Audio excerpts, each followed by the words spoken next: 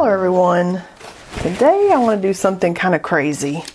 I want to play in some watercolor powders, which let me tell you, watercolor powders are messy. And I did a watercolor video earlier in YouTube, and somebody was like, You didn't emphasize enough how messy it was. And I thought, sometimes that might be a lesson you need to learn on your own. If you didn't take my warning when I told you it was messy. So I'm emphasizing even more watercolor powders are messy. They may go on your surface. It's a powder. It's a powder. And a powder can be messy. I'm kind of thinking that what if I put this stencil down and just spray water, tap some watercolor powder on it, and just see what does it do on a layout like this. Crazy, right? So we're just going to test it out. I need something. I don't. I don't want to tack it down with a big piece of tape. I guess I could put it here and then we could just let the watercolor do what it wanted to do and I could tape it at the bottom edge here. Well, let's do that. And we'll just let it do what it wants when it goes up there. Be an interesting lesson for all of us. but let me say again, watercolor powders are messy. Messy. So if you are worried about your work surface or anything around your clothes that you have on, anything at all that you don't want watercolor on, um, maybe this is not the right technique for everybody.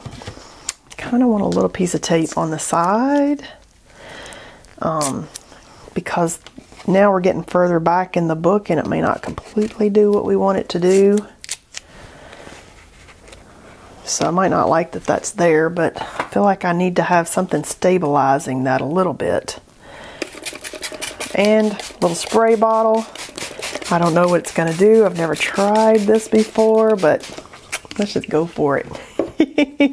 so I've got some Sketchbox watercolor powder in this orange and I'm just going to try to be really careful. It's, they're very vivid. Powders are very vivid and messy. So you don't want to just squish the powder out um, as fast as you can because it'll go everywhere. So I'm just trying to very gently tap and just see like what's that do. And then I, I might, might mix this around with a brush. I don't know. Just be very gentle don't squeeze um because it just it'll burst everywhere so this is a color burst fuchsia this was a sketchbox exclusive in orange and this is a the crafters workshop sketchbox exclusive in bougainvillea which i think is oh it's a bright red too. Okay i was hoping it was the purple. All right let me go get the purple one. There is a purple. Okay and the stencil isn't completely staying on the paper because the paper's got water on it, so it's moving around and warping. Um, there's a purple though, so let me get into my drawer and find the purple. Maybe this is the purple I was thinking of. There's Wisteria by the Crafters, uh, I think it's the Crafters Workshop uh, watercolor powder. Um, oh yeah, I think this is the one I was thinking, Wisteria. And we could kind of take, if it's not doing what we want, we could take a watercolor brush. Let's just take a brush. This is my Aqua Elite number 12. And we could just see, you know, if I need to kind of move it around. Let's see what that does. And, you know, I'm working on that cotton paper that's in this art journal, um, which is like that khadi paper, that Indian cotton paper is what this uh, I believe is because it seems to be what it feels like when you're touching it and painting on it.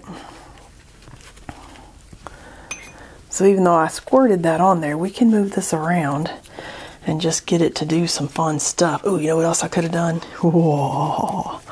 We could take, for up there up top, we could take our bowl scraper and Make that a little more abstract up there. super fun. I kind of want it to come on the edge a little bit.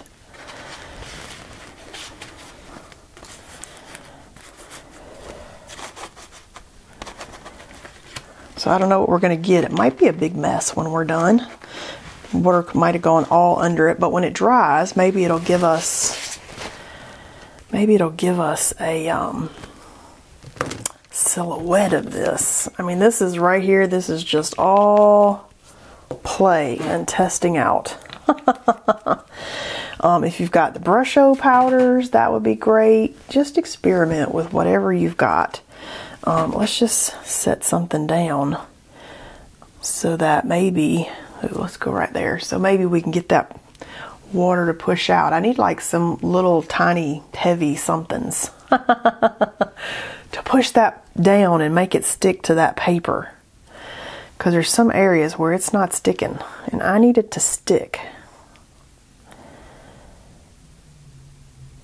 You know what else I was thinking, and we may try this on another one. I was thinking, you know, this um, granulation medium. Um, once this is, we could we could like spritz granulation medium on a watercolor through a stencil. Have you ever tried that? Um, I'm just throwing some ideas out there as I'm sitting here, kind of thinking and brainstorming and imagining like what else could I do. Kind of thinking that. I need some little tiny heavy objects. I mean, I guess it doesn't matter. I could just put whatever on top, but at the same time,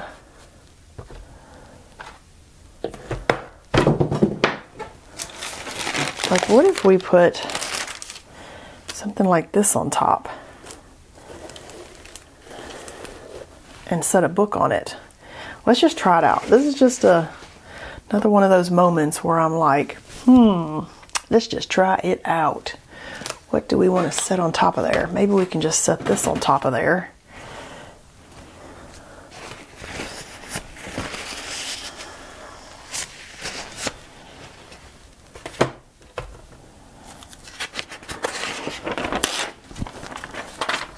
Going to have to let that kind of dry and do its thing for a bit.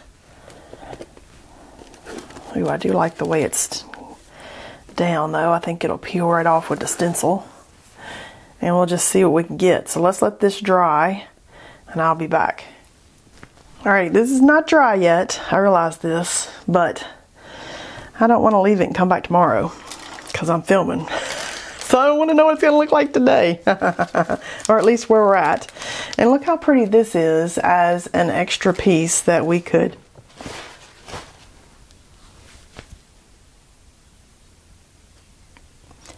as an extra piece that we could use as a collage paper or something somewhere.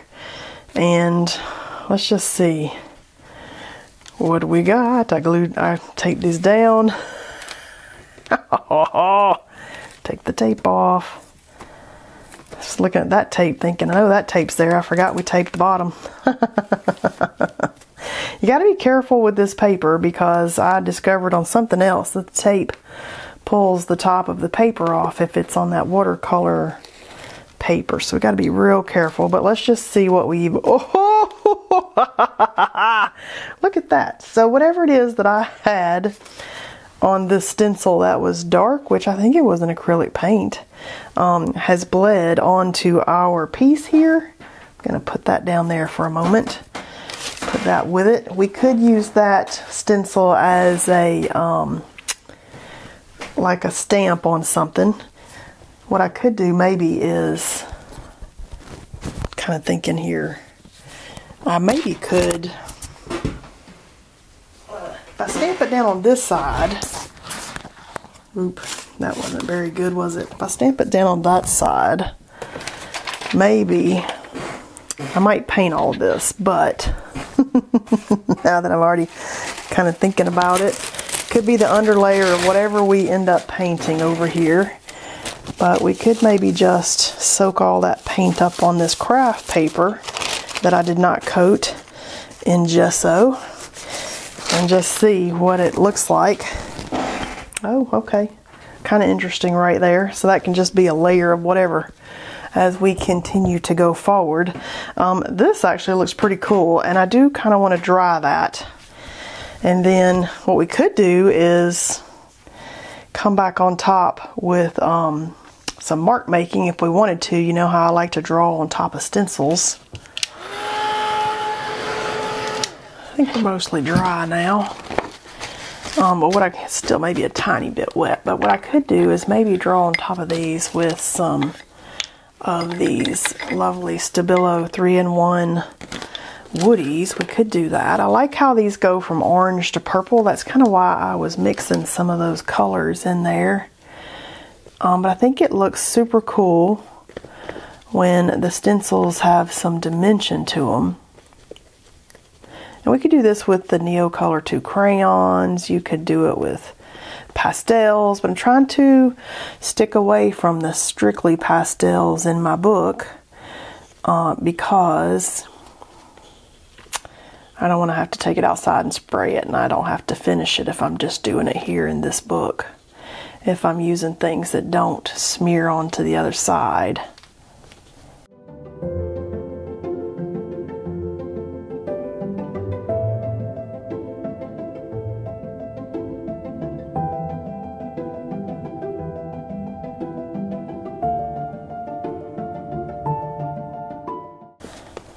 I'm just playing, just kind of mimicking some of the colors in there. There's nothing specific for why I did that. I just wanted to. We could come back on there with some gold. Do we want some gold?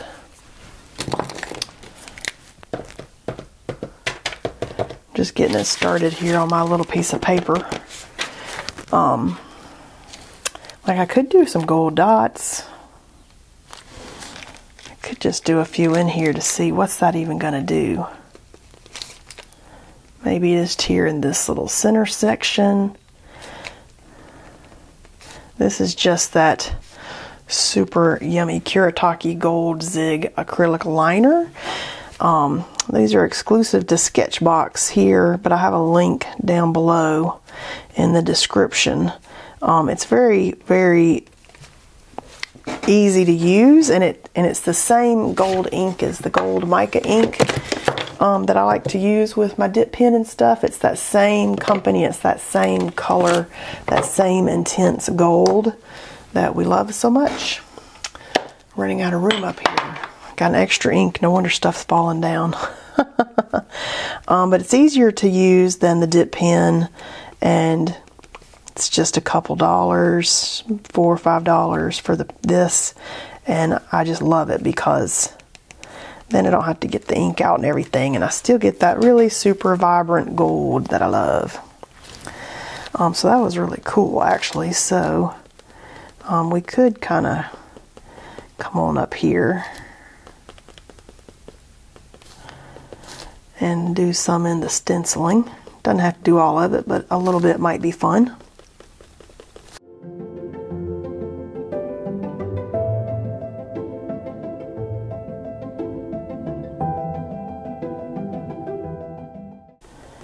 And if I didn't tell you what that stencil was, I'm pretty sure that's a Stencil Club stencil. Uh, by Stencil Girl. Pretty sure that's what these are. Here we go. Stencil Club 06 of 2020. Um, so if you if you join the Stencil Girl Stencil Club, you can buy the past months um, that they've got on there. This stencil alone was worth joining for at least one month and grabbing it. Um, so that's what I did. I joined it. I haven't, I'm still in it now, but I joined it and then bought several past months, um, which is, they've got some really good ones in there. Or you can just kind of look around their site. Um, it's one of my favorite stencil sources along with joggles.com. Said I wasn't going to do all of it. Here I go. I just keep on going. But look how fun that is. Just a little bit of gold in there. We could come down here and shape out some of these leaves with gold. oh, yes, I like that. Okay, good idea. Sometimes you just got to sit and think and play and make some marks. And then as things come to you, you're like, oh, yeah, that's what's next. and these little leaves drawn in. Let's start over here because I need to work that way. I don't know why I try to work backwards. Wait until you see the pictures that I put at the end of the video. It's going to see how pretty these leaves are.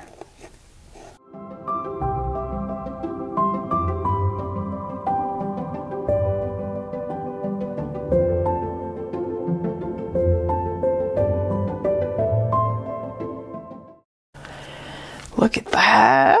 Oh my goodness, look at that. That is so pretty. Now we've got a little shine as all through the piece there. And you know, we could come with some just little dots to go into this upper part and really kind of complete the look.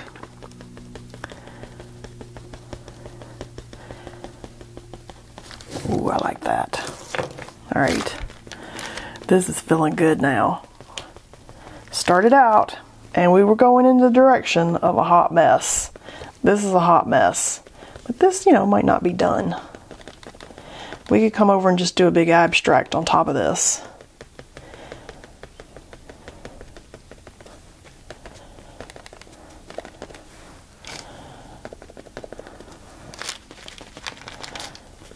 Ooh, look at that. Okay, I think that's where I want to be. We can take these pictures at the at the and you can see at the end the little bit of gold shine that we get with the light. Um, but that's rather delightful. That's a good page. I'm happy with that. Hope you had fun painting with me today. And then uh, we'll come back and finish this on another day. And I'll see you next time.